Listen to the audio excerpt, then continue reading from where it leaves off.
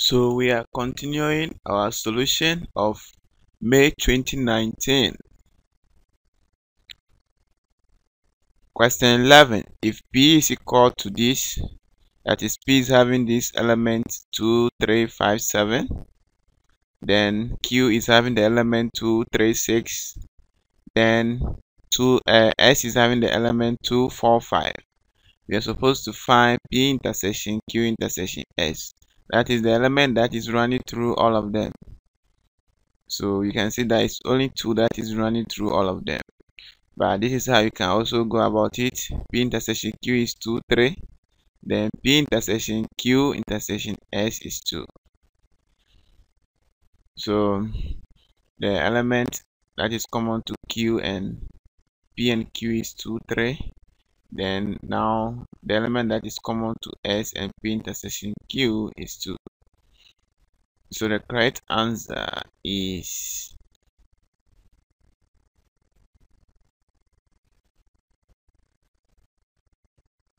the correct answer is A.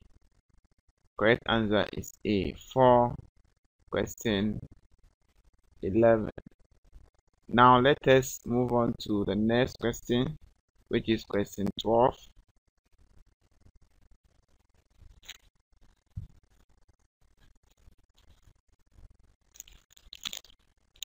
So for the question 12, we have this. We are supposed to use this diagram to answer this question.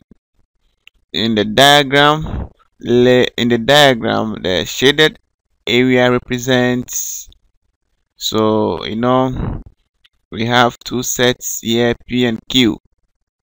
And we want to find the region that is represented by the shaded region. So if you ignore that of q which is there to distract you you can see that we have p. The complement of p is this. And this region that is shaded here is equal to the region that is shaded here so if you, even if you include Q, Q here, it has no effect on the region that is shaded. Therefore, the correct answer is A. The correct answer is P prime.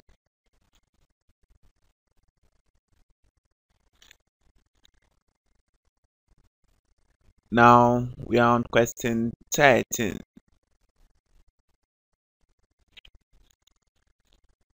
If TT dollars 6 is that is if 6 TT dollars is equivalent to 1 US dollars then 15 TT dollars in US dollars is what?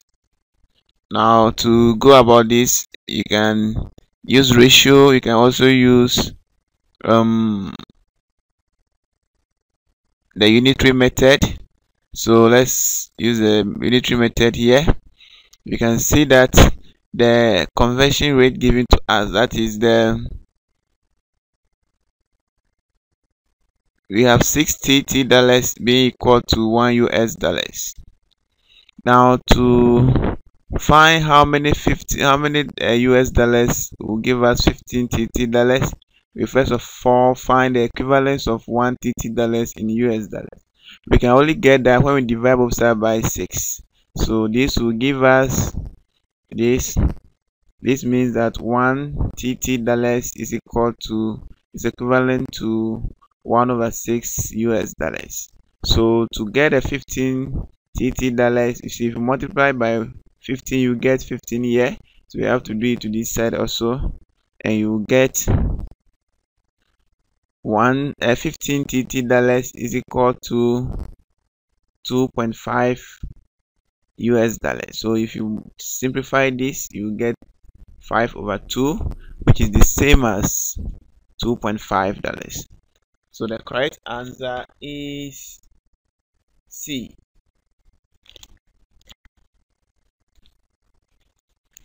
Now let us proceed to the question 14. If $7,000 is borrowed at the rate of 5% per annum for three years. The simple interest is So we know simple interest is principal times time times rate or principal times rate times time. So we were given the principal to be 7,000, the rate to be 5 percent, which is the same as 5 over 100, and the time is 3 years. So we just plug in these values into this formula to find the interest. And the simple interest is 7,000 times 5 over 100 times 3. You know this will cancel two of these. We are left with 70 times 5 times 3. Now if you multiply 70 times 5, you get 350. Remember that 5 times 7 is 35. Then you maintain the 0 to get the 350. Then you multiply this by 3 so 3 0 will give you 0 3 5 15 so you keep 5 you write 5 you keep 1 3 3 9 plus the 1 you give you 10 50 so 1050 therefore the correct answer is D the correct answer is D a dress a dress which costs $180 is being sold at a discount of 10%. The amount of the discount is so amount of discount we multiply the the cost of the dress by the rate of the discount which is 10%. So 10% of $180 will be equal to 10 over 100 times 180 and that will be equal to 1 over 10 times 180 which is equal to $18. Therefore, the correct answer is this. Now, the value of a plot of land is $18,000.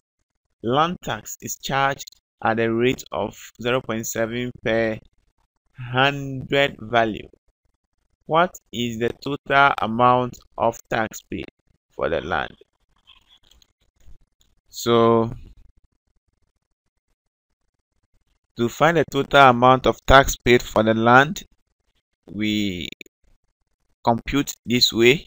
You know the amount of land tax will be equal to 0.7, that is the rate times the number of 100 values in 18,000. So to find that number of 100 values in 18,000, you divide by 100. That is divide by $100 to get the number of hundred dollars in 18,000 value. So if you do that, you know two of these zeros will cancel two of these zeros. we are left with 180. Then 0 0.70 is the same as 70 over 100. Then this is the same as 7 over 10. And the 10 goes into 180 18 times so 7 times 18 will give us 126. So 7, 7, 8 is 56, 7, 1, 7 plus 5. Uh, that will give you 12. So that will give you the 126. So the correct answer is this. Now, let's proceed to number 17. At the end of at the end of any year a car is worth 5% less than what it was worth at the beginning of the year. If a car was worth 9,500 in December 2016, so this is the end of the year, then its value in January 2016 will be what? Now, you know the value of the car in December is 9,500. Now we don't know the value of the car in January, so let that value of the car be x. Then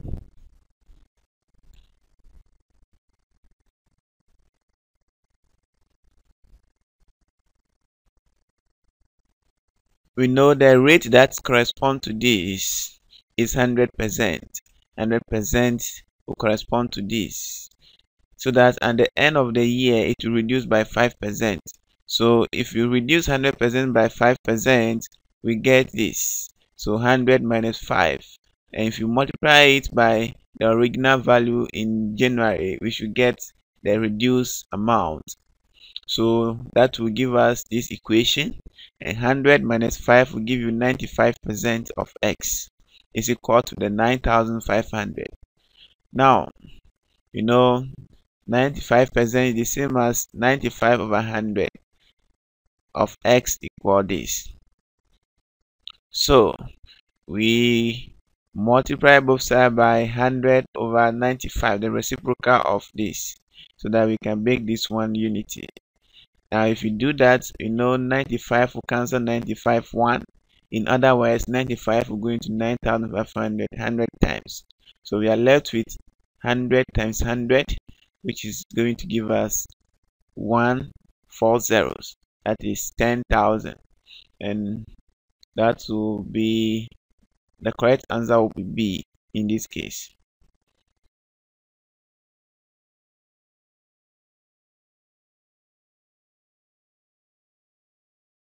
Now let's proceed to number 18. A loan of 8000 was repaid in 24 equal monthly installments of $400.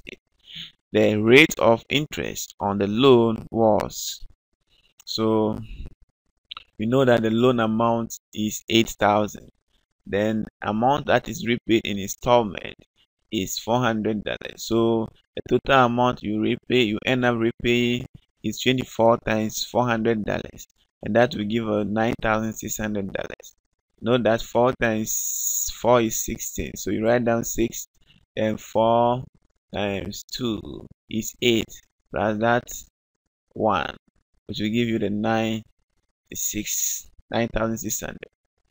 So now we need to get the interest on the loan. So loan interest is nine thousand six hundred minus the eight thousand now that will give us thousand six hundred. To get the the rate of interest we express this as percentage of this. That is the original amount. That will be that will be 1600 over 8000 times 100 percent. And that will be equal to 1 over 5 times 100 and 5 will go into 100 20 times that will give you 20 percent so the correct answer is D. Now let's go to number 19 a dinner a dinner is at a restaurant. A dinner at a restaurant was advertised at $60 plus 18% tax. The total bill for this dinner was so you know the total bill is going to include the price of the dinner which is $60 plus the tax that is paid and the tax has a rate of 18%.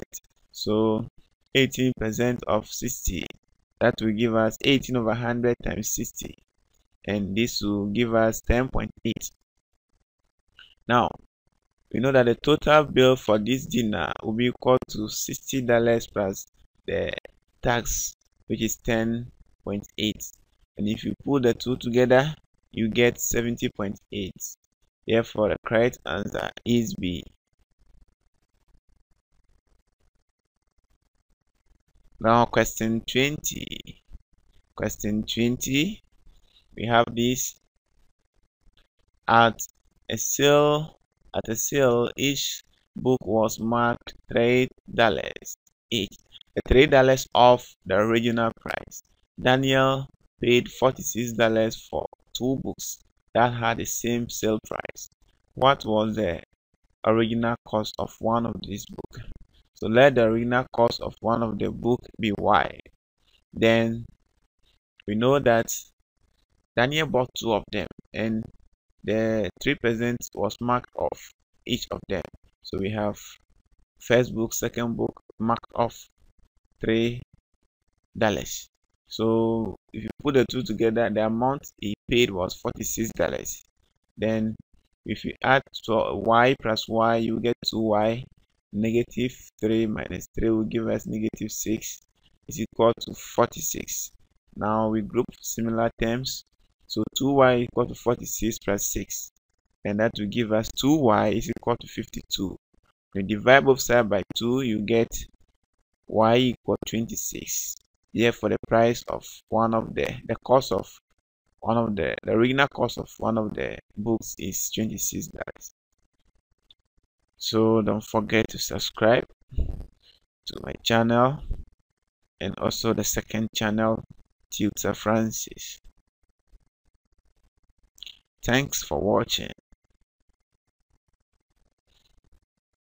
The next video will be uploaded soon. So don't forget to subscribe.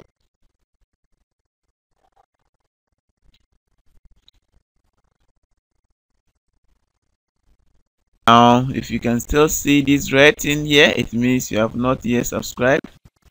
So you just have to click it so that the next upload see it is still red. You have to click it so that if i upload the next video you'll be informed. Click the bell icon too so that you get a notification whenever I upload a new video. Thanks for watching. Don't forget to subscribe.